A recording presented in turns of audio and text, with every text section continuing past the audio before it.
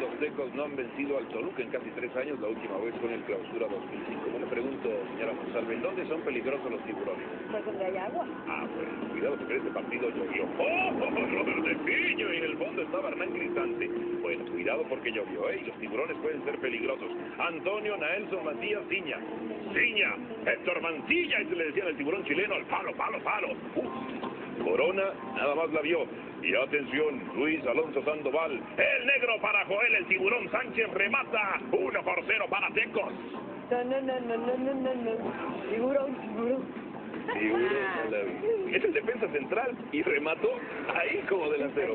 Bueno, saque de manos para Tecos. Robert de Piño.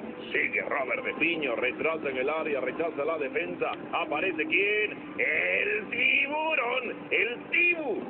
Sánchez. ¡Dos por cero! No lo puedo creer. Le metió el aletazo. Balón filtrado para Ciña, diagonal para Héctor Mancilla. Héctor Mancilla, el tiburón chileno. Quinto gol para Mancilla, dos por uno otra vez. Para Mancilla, mala salida de Jesús Corona, penalti. Doble amarilla, se iba expulsado y entraba a sustituirlo. Cuando vemos la falta, bueno, el contacto hay. La lluvia también, también la actuación, hay de todo. Mario Rodríguez entra. Carlos Esquivel a cobrar el penalti. Carlitos Dos por dos el marcador Tecos contra Toluca. En el grupo 1 Atlante subió al primer lugar con 12 puntos, seguido de Santos y Monterrey. En el grupo de la muerte Cruz Azul se mantiene en la cabeza.